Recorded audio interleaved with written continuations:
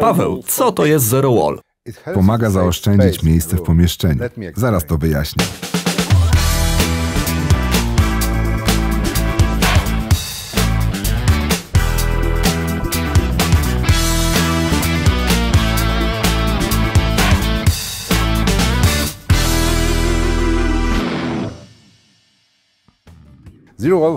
Funkcja Zero Wall, czasami nazywana również Zero Space lub No Space, związana jest ze sposobem odchylania oparcia w fotelach masujących.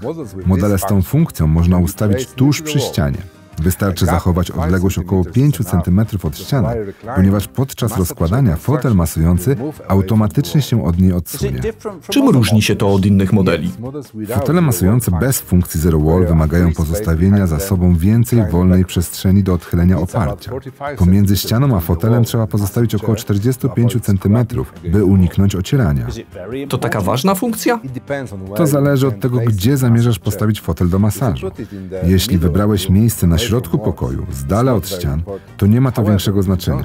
Jeżeli jednak nie masz dużo miejsca lub chcesz postawić fotel przy ścianie, wtedy przyda się funkcja Zero Wall. Pomoże zaoszczędzić miejsce, szczególnie przy większym modelu fotela.